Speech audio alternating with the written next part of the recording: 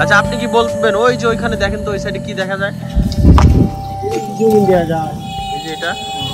তো ব্রিজ যায়। ব্রিজের রাস্তা কোথায়? ব্রিজের রাস্তা তো এদিকে নাই। ওই ব্রিজটা কেন দিছে? ওই যে আমরা পেছনে যে তোমার ব্রিজ দেখতে পাচ্ছি একটা। হ্যাঁ এই সামনে আসো। তুমি বলতে পারো না। কিন্তু ওই ব্রিজটা কি ওখানে আসলে দরকার? আমরা তো কোনো রাস্তা দেখতেছি না। তাহলে ব্রিজ কেন? ব্রিজটা রাস্তা আসলে মানে এই পুরা জায়গায় রাস্তা ভেঙে গেছে?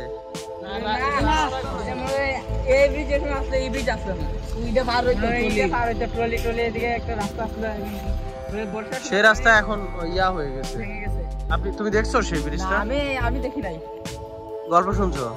তোমরা কেউ জানো? মুরব্বী, ওইখানে যে ব্রিজটা দেখতে পাচ্ছি, ওই ব্রিজটা কত আগে বানানো হয়েছিল? মনে হয় ছয় সাত বছর আগে সাত বছর আগে? এখন দু হাজার বাইশ সাল তার মানে? আচ্ছা কিন্তু যখন ব্রিজ ছিল তখন কি দুই পাশে রাস্তা ছিল? ওই যে ব্রিজ একটা দেখতেছি। হ্যাঁ হ্যাঁ হ্যাঁ। এখান থেকে রাস্তা ছিল ওইখানে ব্রিজ হয়েছে কেন? জায়গাটা কি বাজে এখানটা ব্রিজটা করলে এইখানে এইখানে যাওয়ান যে বসে আছে এই তো। মানে? প্রস্ত বেশি আছে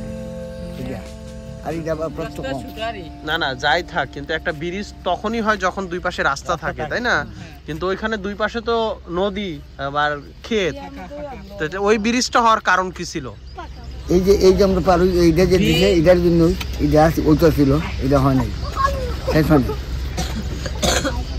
এখন যে ব্রিজটা এখানে দেখতেছি এটা পরে হইছে। এটা পরে হয়েছে তখন কি এই রকম রাস্তা কি ওইখান দিয়ে ছিল? না আমরা ঘুরাই যে গেন্দা এখানে মাটি দিয়ে দিত বাঁশ দিয়ে দিত। এই ব্রিজের করার জন্য ডুপ্লিকেট ব্রিজ করছিল ওইটা। মানুষ যেন পার হইতে পারে। আগে। আচ্ছা কিন্তু ওই অবস্থায় ব্রিজটা রয়ে গেছে। তার মানে পুরা ব্রিজই করে ফেলছিল মাটি ইয়া না দিয়ে এত মানে না মাটি দিত বা ওই কিন্তু আমরা তো দেখতে পাচ্ছি এখানে ব্রিজ একটা। আচ্ছা যাই হোক সমস্যা নেই। যা হয়েছে হয়েছে ওইটা তো এখন কারও কোনো ক্ষতি হয় না। শুধু সরকারের একটু লস হয়েছে আপনাদের তো কোনো ক্ষতি হয় না। আপনি কি করেন? আমি মাস্টার ছিলাম রিটায়ার্ড হয়ে পড়ছি আজকে বাইশ বছর বাইশ বছর রিটায়ার করেছে আপনার বাড়ি কোথায়? কাটুর এইখানেই। এই কোন থানা এটা? ইটনা- গঙ্গুর আচ্ছা গুড এই যে আপনারা যে চরে বসবাস করেন বা হাওর অঞ্চলে হাওর অঞ্চলের মানুষ আর হলো মানে শহর অঞ্চলের মানুষ বা অন্য অন্য অঞ্চলের মানুষের মধ্যে একটা তফাৎ আপনি আপনার জ্ঞান থেকে বলেন তো পার্থক্যটা কি? তফাৎ বলতে তো আমরা তো রাস্তাঘাট তো এমনি খুবই খারাপ অবস্থা আছিল হ্যাঁ আসা যাওয়া করতে খুব সময় লাগতো। নৌকায় যেমন লাগতো এছাড়া বলতে গতি আছে না।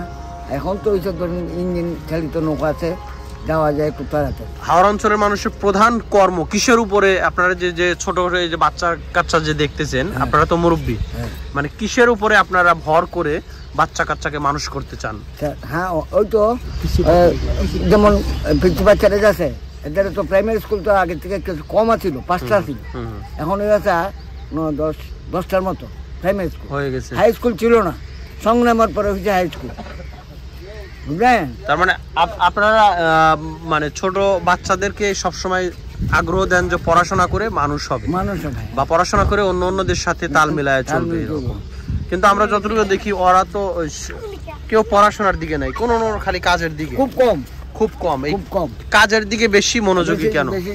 পড়াশোনার চেয়ে গুরুত্ব দেন বেশি কাজের কাজ কৃষি কাজ কৃষি এবং এক ফসলের জমি।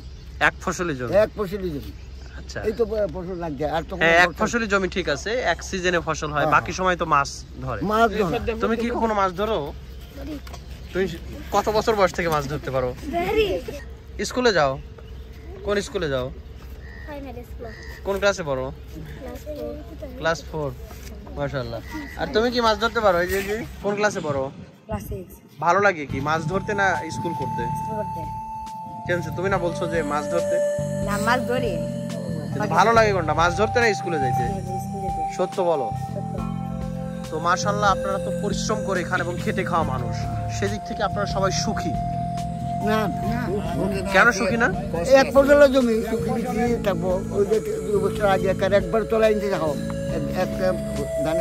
আগাও করতে কিন্তু সেটার জন্য সুখী হওয়ার জন্য যেহেতু পানির এটা তো সিজন এটা তো প্রাকৃতিক বিষয় যে এক ফসলের জন্য হ্যাঁ। সেটার জন্য তো আর করার কিছু নেই করার কিছু আছে।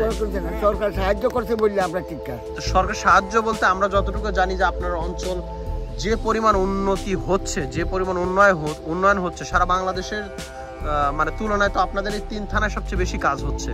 এখন দেখা দিতেছে? এখন কাজ হচ্ছে। এখন সেটার জন্য আপনার শুক্রিয়া না? এখন তো হ্যাঁ, হ্যাঁ। বলেন তো সুখী না এখন? এখন সুখী। এখন মোটামুটি সুখী। এখন সুখী। বাপদাদার আমলে কি কখনো চিন্তা করছেন এখান দিয়ে রাস্তাঘাট হবে? না না না না রাস্তা ছিল না। কল্পনার বাইরে তার মানে কি? এখন সুখী? সুখী। বলতে চলাচলের লাগি সুখী আমরা। কিসের জন্য দুঃখী? হ্যাঁ? দুঃখী কিসের জন্য? কিশোর তো আমরা অভাবনন্দন চাচ্ছে পারে না। ঋণ করে অভাবটা কীভাবে আপনাদের পূরণ করবে? হ্যাঁ? অভাবটা পূরণ হবে কীভাবে? পূরণ তখন করবার মতো কি আছে না আছে? সরকার যদি না দেখে তো সরকার অভাব আর কি দিবে আপনাদের? হ্যাঁ? আমি কই? বলেন তো। আমরা অভাবে এ- মানে বর্ষার দিনে মাছ জাল দিয়ে মাছ ধরি। এই সময় মোটামুটি ভালো চলতে পারে। হুম। এমন তের সিজন প্রায় দুই মাস আমরা গৃহস্থী কাজে নিয়োজিত থাকি। তার দশ টাকা ইনকাম হয়। আর এখন যে বাকি চার মাস আছে বেকারত্ব করে ঘুরতে হবে আপনাদের। এখন কাজ নেই কৃষি কাজ করেন না কৃষি কাজ নাই। যাই ছিল মানে কাজ আড়াই ফেলাইছি। তারপরে কি হবে? তারপরে আবার বর্ষা এলে ওই যে জাল দিয়ে মাছ ধরবো। তার মানে এখন থেকে কয় মাস বসে থাকতে হবে?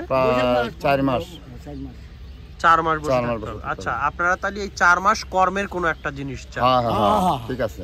কি ধরনের কর্ম আপনাদের এখানে হইলে আপনারা এখানে তো আমাদের এখানে কোনো ইয়ে নাই। যে একটা আছে যে গার্মেন্টস আছে এই কোনো আমরা সু- সুব্যবস্থা নাই। একমাত্র মিল কারখানা থাকতো তাহলে তো আমরা কাজ করে থাকতে তার মানে আপনারা আশা করতেছেন যে আপনারা যেভাবে আছেন খুবই ভালো থাকতেন যদি কিনা এই কৃষি মাছ পাশাপাশি যদি অন্য কোনো একটা কর্ম হ্যাঁ, থাকতো। তাহলে বাকি সময়টা বেকার থাকতে হতো। হ্যাঁ। এটাই হলো মূল চাওয়া। আপনাদের